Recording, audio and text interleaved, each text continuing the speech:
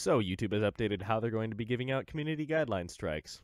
Took you long enough, guys. Jesus Christ. Worked alongside creators to understand what's working and what's not.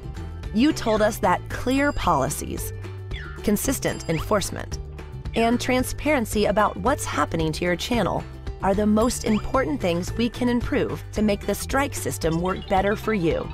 So at least they're saying that they've actually been listening and learning from the shit that has gone on in the last multiple years. But the one thing that I can't wrap my head around is this. We know that most of the time creators don't break the rules intentionally and just want to get back to making great content.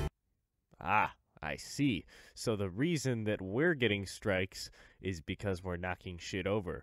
Logan Paul videos someone hanging in a forest doesn't get punished. Okay, thank you for making that clear. Yep, this explains quite a bit. So we're giving everybody a warning the very first time they post content that crosses the line, with no penalty to their channel.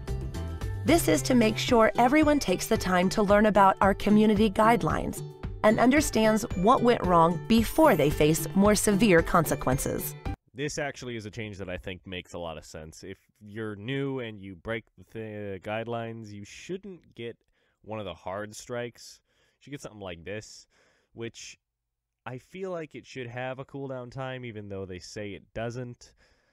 But it, it should because um, not everyone's breaking the guidelines all the time. And yes, the normal strikes reset after 90 days, but they eh, at the least they, it should be like a six month or year long cooldown because it's if someone isn't breaking the guidelines consistently or they just do it like very far and in between like a year couple years couple months or whatever if it's not terrible like uh fucking plenty of the shit that we've seen go down over 2016 17 18 and starting this year then it shouldn't exactly be as hefty.